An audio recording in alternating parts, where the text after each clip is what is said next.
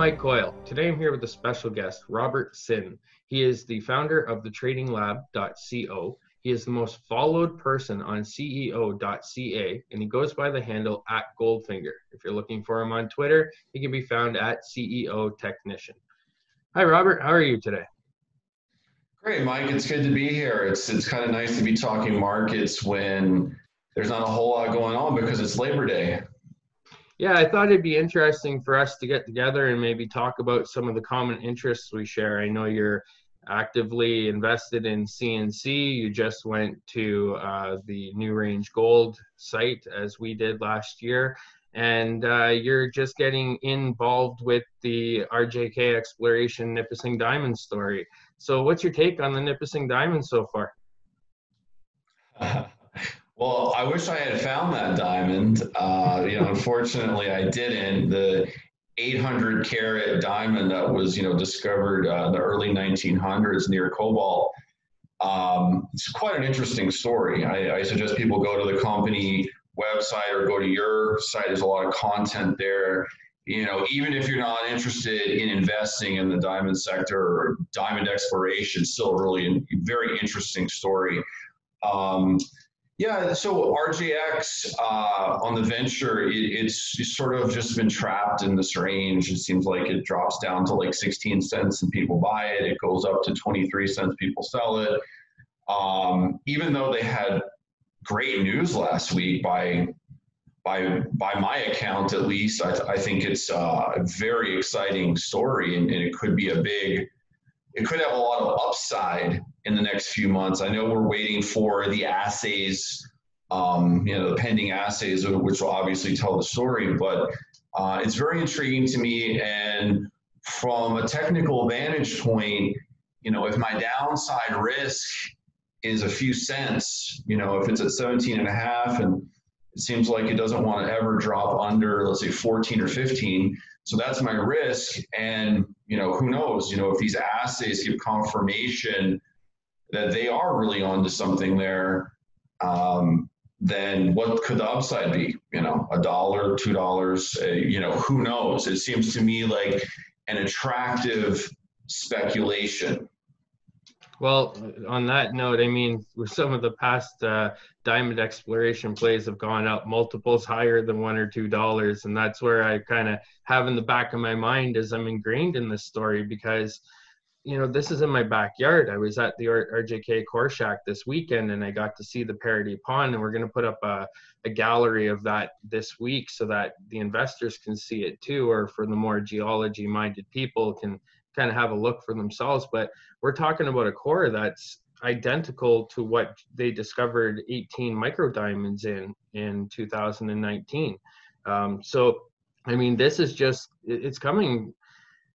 It's getting really interesting, and, and that's partially because there was a MERC report that was done. Uh, the Mineral Exploration Research Center in Canada did a five-year uh, exploration campaign in Cobalt. And that report is basically five years worth of free information that RJK is now starting to tap into. And they're starting to see some correlations with the Cross Lake Fault and the Montreal River Fault, where the conclave is on the Montreal River and the Paradis Pond is on the Cross Lake Fault, but they seem to sit along a structure called the Schumann Arch.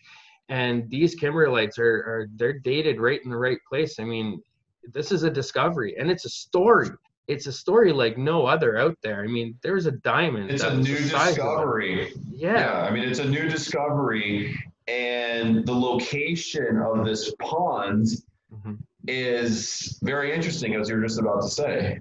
Yeah, I mean, it's it's not far from town. You're talking uh, five, six, seven kilometers from North Cobalt, uh, back in the bush. Very easy access to it. Um, you know, Cobalt's a, a, mining town. We've had infrastructure here for hundreds of years, and well, 100 years, anyways. Um, not to get ahead of myself, but uh, this is what's really interesting is that it's so close to infrastructure it's so close to a mining friendly jurisdiction or it is in a mining friendly jurisdiction and this is a legitimate discovery. Now the market wants to see the big beautiful diamonds but i mean this new kimberlite that they're drilling into it's very coarse grain it's it's defies some of the logic behind kimberlites and how they come out of the ground and explode out of the ground there's somewhat of a running theory that maybe it ran into the underside of a glacier and spread out because this what they're finding is it's sitting on top of a granite bed with only four meters of overburden on it. I mean, in context of kimberlites, this is extremely close to surface. So when it comes time to bulk sampling, it's about the most cost effective kimberlite that you're going to come across. So you were talking about it trading in that range. I think it, part of that is that the market is just sitting here waiting to hear about a large diamond. And the best part is is that the lithologies behind this kimberlite are actually leaning towards them finding type 2A diamonds. And if they are colored yellow, I mean, for perspective, green diamonds are the most valuable diamonds out there. Uh, you got then you got your blues and your pinks and your yellows and know, those colored diamonds, those aren't diamonds that can be made like De Beers makes right now. These are unique in the sense that they can only be found in certain kimberlite pipes, and we may very well have one.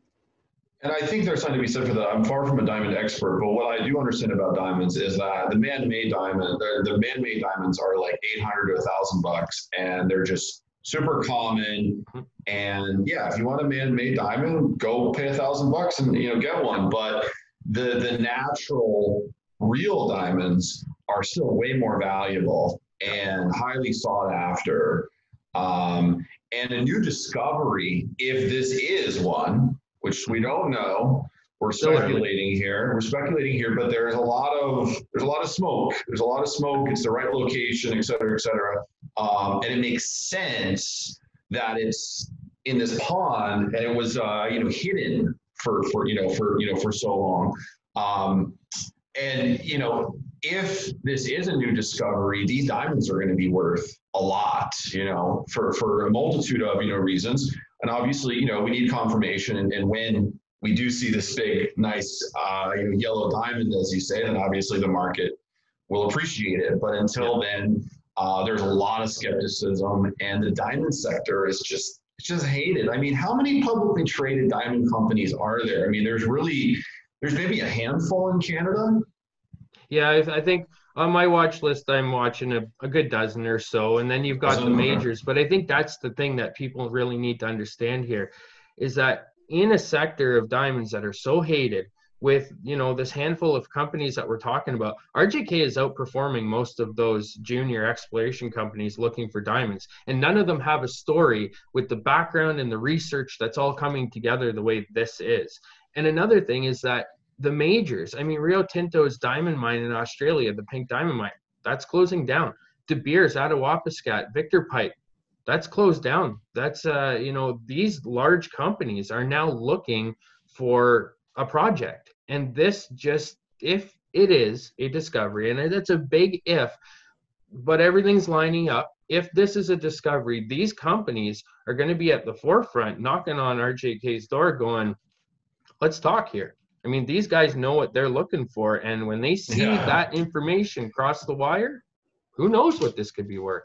You know, it's very interesting. I mean, when I, you know, I'm a, I'm a trader first and foremost, and an investor secondary. You know, when I look at something like RJK right now, and whatever it is, it's like a 12 million dollar market cap on the venture. Um, basically, any exploration company that has a stock symbol on the venture, that has a project, that has a name, has a CEO with a pulse, gets a $10 million market cap in this bull market environment in the gold or silver sector, right? So because this is diamonds is different, but think about that 12 million with what what could very well be a new discovery, a real discovery that definitely could be economic in a in a great location, uh, solid management team, tight share structure, a lot of the things that we want to see when we're looking for a new exploration company to invest in. And it's it's like $12 million market cap. So you have all these gold and silver juniors that basically are just I don't want to say pump and dumps, but they're not very attractive speculations yeah. from my estimation. They get $10 million market. Shit, they, some of them get 20 million, right? So if I look at that versus RJX, I'll take my chances with RJX, and I have actually um, a market. It's not my largest holding, but it's not it's not a small speculation on my part. And obviously, I wanted to see it break out last week. I wanted to see it go to 30 cents or 35 cents on that news. It didn't, but I guess we just have to wait for the assets. And I'm, I'm willing to take that gamble where I risk 10% or maybe a little bit more on, on the downside and I'm taking a shot at a multi-bagger, you know. And obviously, yeah, it could be, it could be, it could be a huge winner. I'm going to be a little bit, you know, more conservative and say, you know, hey, I'll, I'll take a 5x or a 10x, and, and I'll be happy with that. You know, uh, I'll probably sell some at a dollar to get my cash out of it, and then I'll, I'll try to ride the rest. You know. Yeah, and that's the thing with diamonds is that if you go back in history and look at some of the the diamond rushes that really created a lot of momentum in the market, you look at the Ekati and Diavik diamond mines, and that's Dominion and Diamet. You can find it on the RJK website. They have the charts posted right there. So don't quote me, but one of the share prices went from like 26 cents to $55 the other one went from 30 something cents to $66. Now, one of those companies took 12 years to do that, and the other pipe was discovered during that time. So the other one only took two years. But I mean, this is generational wealth that can be created. So we need a little bit more evidence. We need a little bit more drilling, maybe a bulk sample. And I think this is this is a story that's going to catch some steam and start to move. And I, I've been beating my chest about it for a year and a half talking about this, but you know, then there wasn't as much information as there is now. But the people, the people that are involved in this, I cannot stress this enough, are very, very smart people. And they have a wealth of experience that date back to the 1980s in searching for kimberlites and diamonds on this project. And that gives me more confidence than the project itself, just because I know where they've come from. And I think I think that's a really good point, Mike. So I, have talked to management several times obviously I'm not right there, you know, in my hometown, you know, like you are, but, but I have talked to uh, Robert a few times. Uh, and he's a very likable guy, very honest, straight shooter. And you know what? They've basically self-funded this whole thing, so they have a lot of skin in the game. Most of the the capital that's been put to work here to explore these projects has come from management. You know, so I think that that that speaks a lot, you know. And, and there's warrants at 20 cents that are I think are almost entirely held by management, and that might be a future source of funds, uh, you know, when we get to that point. That was a really creative deal, actually. They tied some uh, royalties to that private placement that they ran. And you're right, the warrants are exercisable at 20 cents, uh, due, I believe, at the end of this year. So, so that's most likely going to be their next source of funding, you know, when they need it. Yeah, I would imagine. I mean, diamond exploration's a pretty expensive, um, expensive operation. It's not like gold and silver. You throw a diamond drill bit down there, bulk samples can get expensive. But like we said earlier, we're talking about four meters of overburden on the Paradis, and the conclave only has maybe eight to 11 meters of uh, overburden there. So they're in a very favorable to, situation makes a lot easier to yeah. uh, you know explore you know when you don't have to drill the 500 meters yeah so on that note we'll skip over to canada nickel i know this has got to be one of your biggest holdings you've gone very pro canada nickel the nickel market's heating up uh, things bhp's talking again you know the majors are starting to, to move and these juniors my god we got giga and cnc uh, FPX that are all doing quite well in this environment, especially after Elon Musk talk. So give us your take on Canada Nickel. The new white gold. Uh, I love nickel, and I, I, I love this story. Um, it really checks all my boxes, you know, in, in, in a lot of ways. So, just to give a little background, uh, I met Mark Selby for the first time in January at the VRIC in Vancouver. And although I had followed him a little bit at RNX, I wasn't really super focused on that story. So, so I didn't really know who he was and, and his level of knowledge and expertise on this sector, right? Uh, so he really impressed me. I mean, he kind of blew me away when we met in Vancouver for about an hour. This is a guy who has a wealth of knowledge about the macro factors, but also the micro factors, and he really knows how to be the CEO of, uh, you know, a company that's exploring uh, and moving forward, what is going to, in my estimation, going to be a mine. Uh, great location, um, huge, you know, footprint. They've only uh, explored maybe 10%, probably less yeah. um, of, of the property package. Um, and they continue stepping out. They keep hitting. Uh, they continue to prove up a larger uh, and higher grade, uh, you know, resource.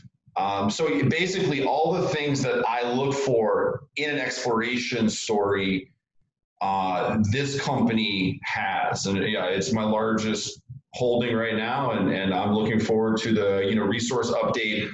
Hopefully within a week or two. I, I know the assay lab has been backed up. A lot of exploration work is going on this summer across Canada, so uh, there's a bit of a bottleneck, and with the whole COVID thing, I think the labs are working on on lighter staffing. Um, but I'm pretty confident that we'll get that in the next couple of weeks, and that should be I think that should be a, a big catalyst because I think that this project is a lot bigger with a higher grade core than most people fully appreciate right now at this point in time and the platinum and palladium that runs along the system. And platinum and palladium. Yeah, I'm glad you touched on Mark there for a moment, and he he seems to have left the same impact on me because you know Mark is, and this can't be overstated. Mark is one of a handful of people that truly, honestly understand nickel sulfide deposits. You know, most nickel operations chase those high grade veins, and the nickel sulfides are just starting to come to fruition over the last 10 20 years. It's it, it's been you know you now people are starting to realize the value in these nickel sulfides. And to have somebody at the helm like mark who truly understands how to get full value out of that is is immense. And that become that's because of his involvement with dumont. I mean the guy spent seven years advancing the dumont project which is now the second largest uh, nickel sulfide deposit that's shovel ready in the world. But I don't think Canada Nickel's going to be very far behind because, I mean, I've been working with Noble Minerals going back a year and a half, and Noble Minerals has been sitting on these highlighted nickel sulfide deposits that Inco drilled in the 1960s. Nobody's ever tapped into it, but it took a guy like Mark to look at this differently and go, hold on a second, we've got something here. And boy, do we have something here when you start factoring in the other properties. And I think an important point, like all, all of that is, is really excellent uh, to highlight. And I think the key point is that this project has a higher grade core yeah. that can make a big difference in the economics of a mine. And that and that's huge.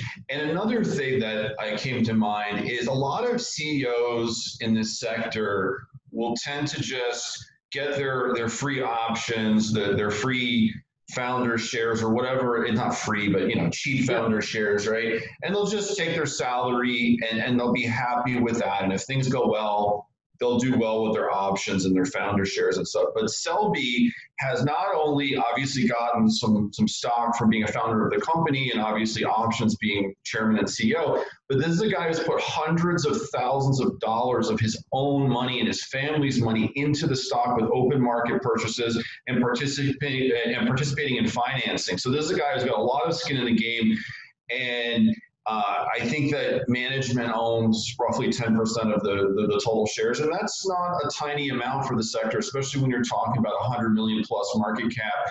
They've got skin in the game and they are aligned with shareholders. You know, this is a management team and a CEO who are going to see this to the end zone. They're like they're going to score that touchdown at some point. It could be later this year, it could be next year, it could be in two years. I'm not sure when the stars will align. But in my mind, they're in the right place at the right time with the right team. And you said that he's been opening, uh, buying in the open market. He has, and at higher prices than today's trade trading price. So people should be aware of that.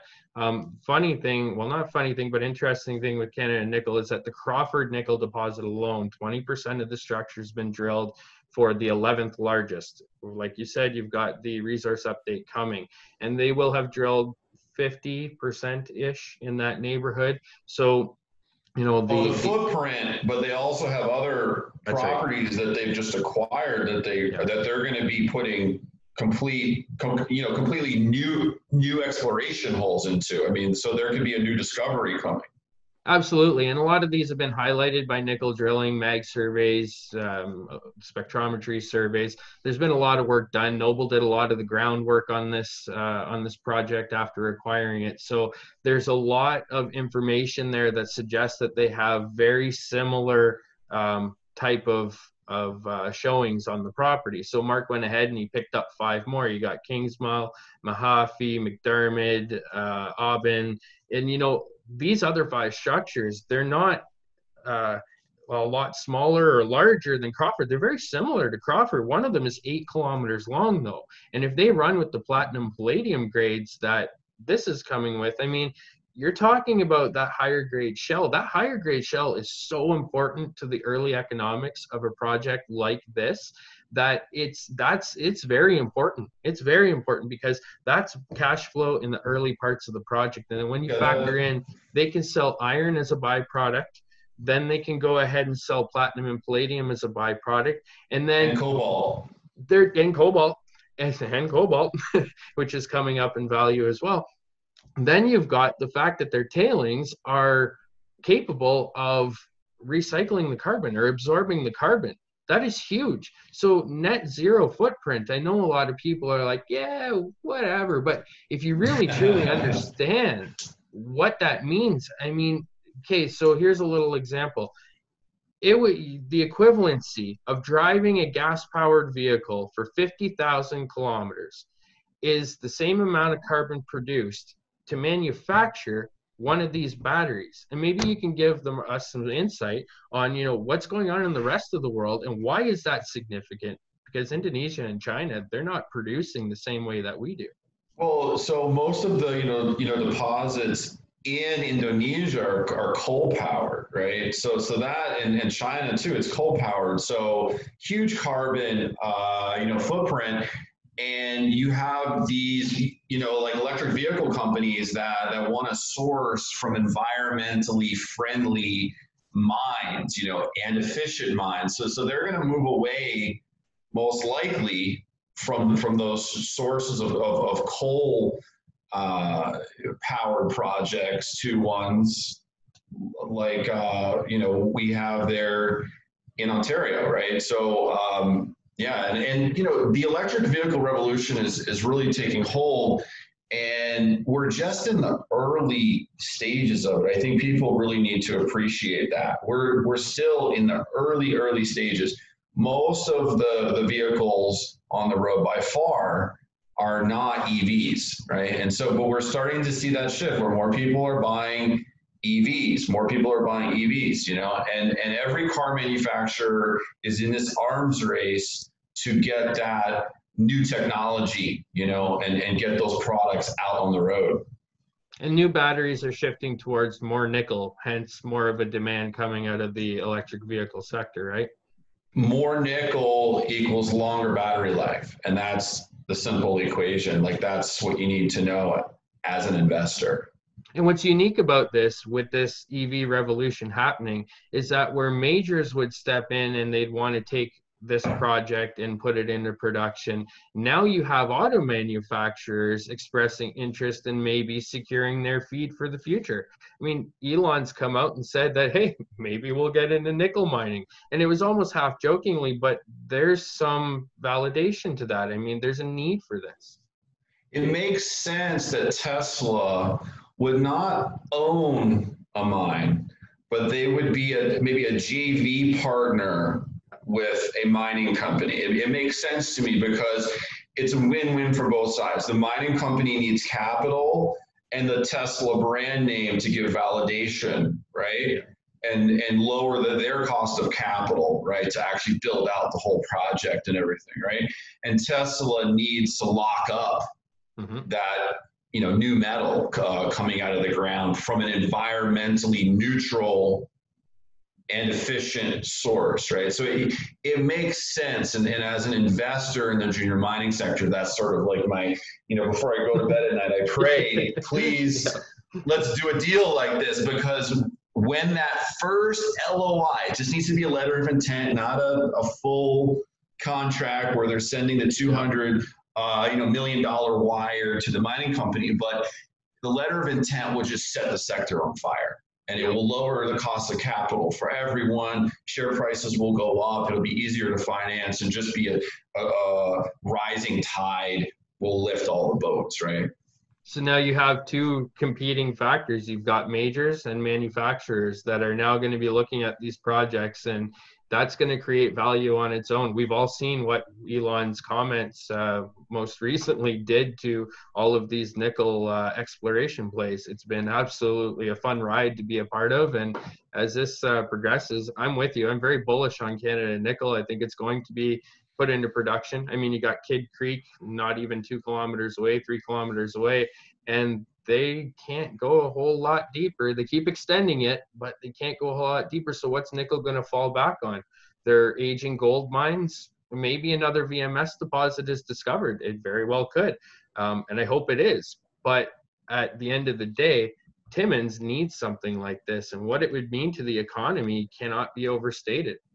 And I think that's a really important point, you know, that I want to make that these projects, these are not just pieces of paper, stocks, uh, charts with lines on them. Like this is affects the real economy, and this generates jobs uh, in these locations. Whether it's Cobalt or Sudbury or wherever it may be, uh, these mines do generate jobs. They help people. They help the economy. They generate tax revenue for the locality or for the country. Um, and, and, and I think that that's really important that people put that, you know, into context. Well, thanks for your insight on CNC and RJK, but I don't want to stretch this out too long. So let's uh, jump into um, Newrange Gold. You just went there. You just went to Nevada. I went there last year. I love what I seen. I thought it was super cool. I got a tour through the adits. I'm not sure if you caught that video, but man, this property, there's a lot that hasn't been tapped into and, and touched, even though it's got over 300 adits on the property. There's so much more to this story. So I really enjoyed my trip out there, um, and it was it was a real pleasure to sort of venture out into the old west. You know, like like when you drive on these dirt roads um, out um, to you know the project uh, it's you, you see like the old skeleton of the mill mm-hmm. um, and you see these old adits and these rolling hills and it, it really does make one go back to like what it must have been like in the old west you know and NewRange is a very interesting company with this flagship project, you know, obviously in the, you know, Walker Lane trend and so much, uh, you know, history there where you have uh, in the 1880s, it was, they were pulling out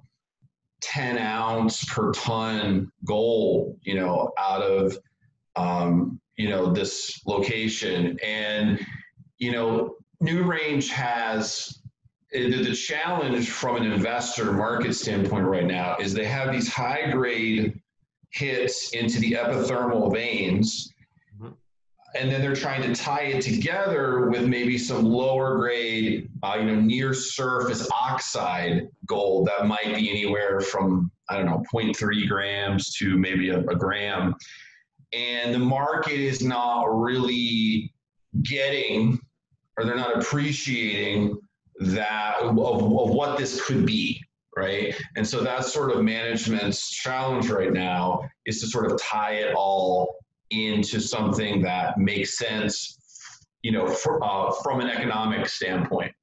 Well i think part of the problem with market perception of this project right now is that in 2017 these guys were hitting high grade ore I mean, really nice stuff in the Merritt decline. And they were kind of drilling around that area, and that got the share price running up into the 70s. Well, then they had to kind of pull back the reins a bit because as they started to drill around the old adits, what they were finding is that they were punching through the adits and losing holes. I mean, that's an expense. You don't get that back. Once you've lost a hole and lost drill rods and steel, I don't think people really understand the importance of why they stopped what they were doing and they started to do the LIDAR mapping the LiDAR mapping gave them some perspective of what those undergrounds look like. And in doing so, they could see the flat lying vein structures. they can see the near vertical shears that were also pushing that mineralization up into these oxides, if you will. They're still there's still brecciated quartz, and you can actually see right here. Um, there's brecciated quartz veins that are trapped in between clay. So above it, you have clay with oxides in it. Below it, you have clay with oxides in it. And then right in between, you have this brecciated quartz um, material that holds very high grade. I fa- actually found a piece while I was in Nevada in the, uh, the gold bar dumps. But getting back to my point, is that it was really important for them to understand this because as you're drilling these holes around these adits where you got high grade hits, I mean, there's 14 grams per ton in some areas or more. Um, I'd have to go and look it up to get the actual numbers. But the fact is, is there was high grade left behind. And now that they're drilling with the LiDAR mapping and understanding things, um, it's going to get a little bit more interesting, particularly when they step out into the area of the new IP survey. And we'll get into that a little bit more. But have you spoke with them about that IP and what that's going to mean for the uh, for the project? Yeah, so the big deep IP anomaly is sort of what really has me excited right now because I mean obviously look there there's gold everywhere there, but that doesn't mean that it's going to be a mine, right? Um, but the big deep IP anomaly is something that they have not gotten a you know rig to yet, but hopefully they will fairly soon in the next few weeks. Um, and th- that something that, that really pops out, um, you know, on this survey, you know, that you're talking about. And it makes sense that there would be a buried intrusive there, like probably sulfides that may or may not have gold in it, right? But when you think about where this is located and what's around it, it would make sense to me just as a layman, you know, just as a, a regular dumb person. It makes sense that this this could really host uh, quite a bit of gold at depth, and there's it makes sense with, with, you know when you see it. It's a mm-hmm. sort of big hill. I wouldn't call it a mountain, but it is at elevation. You know, we're more than a mile up there. Mm-hmm. Um, it would make sense that it was not easy for the old timers to get to. Mm-hmm. Uh, there, there, there is one old adit somewhere on that hill, but it, it's it's not a very good one, and they can't really use it uh, these days. But uh, and it's even kind of hard to get up to the top of that because there's not really a good road. That's something that that that, that they're working on.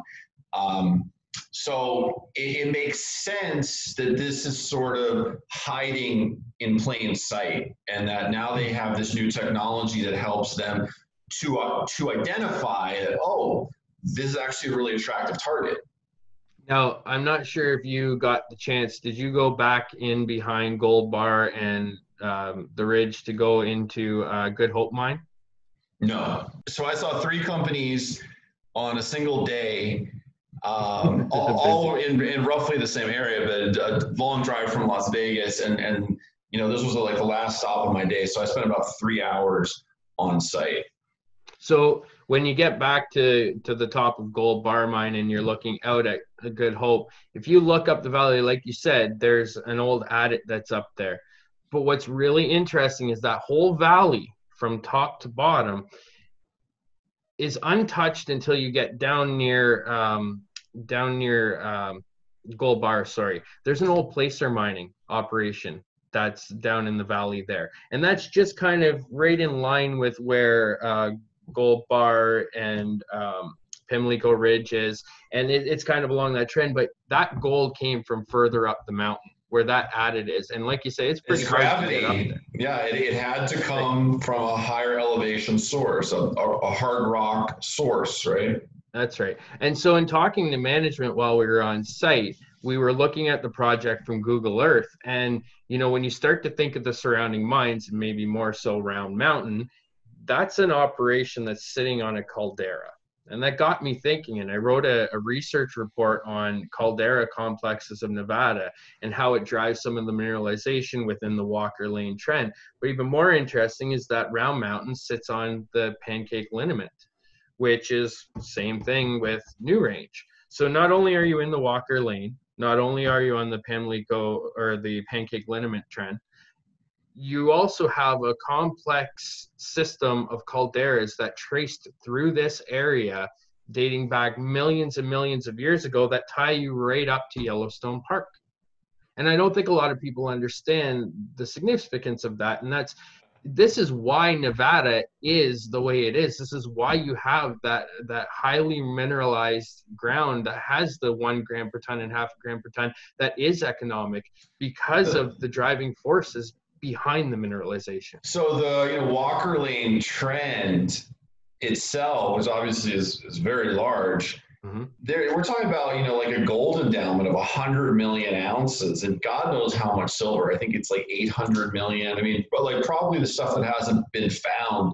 You know, you add it all up, we're talking you know, over a billion ounces mm-hmm. of you know silver. So so this is a, a huge endowment mm-hmm. of you know of gold and silver on this trend, uh, and it would make sense that there's a lot more that we haven't found yet, right?